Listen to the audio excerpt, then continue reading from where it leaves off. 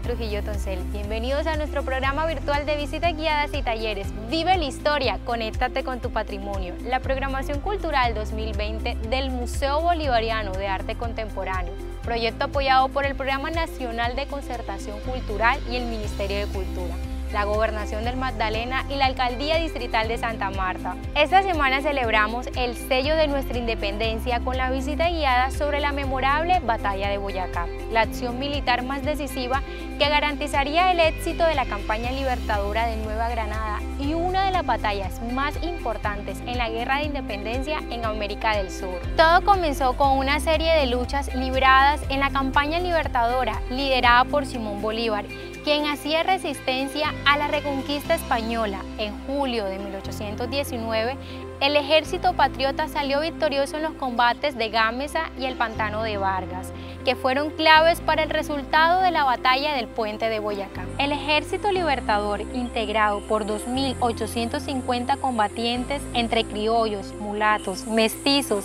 zambos, indígenas y negros, comandados por el general Simón Bolívar, la vanguardia por Francisco de Paula Santander y la retaguardia por el general José Antonio Anzuategui. El ejército realista lo conformaban 2.670 soldados, integrado por 2.300 de infantería, 350 de caballería y 20 de artillería. Sus comandantes eran el coronel José María Barreiro, el coronel Sebastián Díaz y lo comandaba el coronel Francisco Jiménez. La estrategia de Bolívar era tomar por sorpresa al ejército realista, que sin remedio alguno tenían que pasar por el río Teatinos para dirigirse a Santa Fe. La confrontación inició a las 10 de la mañana y culminó a las 4 de la tarde. Para las fuerzas patriotas su rival no fue impedimento, habían vigilado los pasos del enemigo.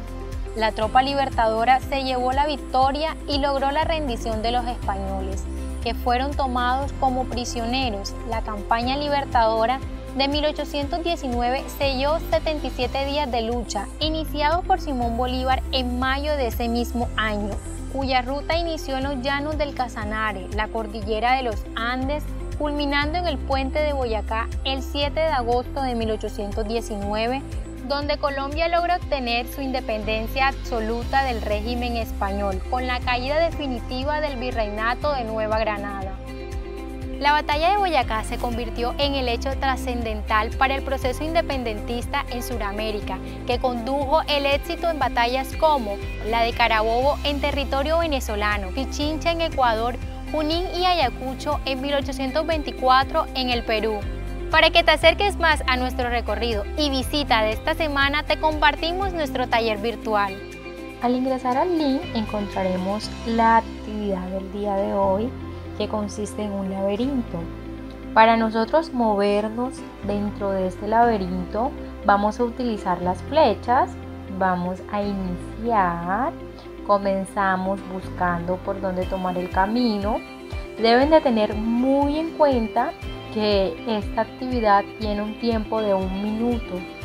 Al terminarse el minuto, si no alcanzan a llegar al final, nuevamente van a aparecer en el inicio.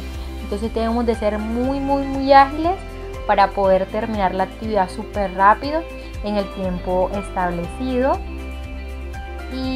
Seguimos buscando, buscando la salida.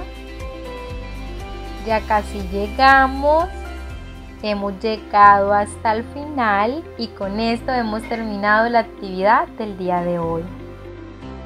Bueno, y esto ha sido todo por hoy, pero nos veremos la próxima semana para seguir aprendiendo sobre este maravilloso lugar. Hay que seguir trabajando por nuestra cultura, seguir apoyando a los docentes que encuentran en las nuevas iniciativas un recurso para su labor.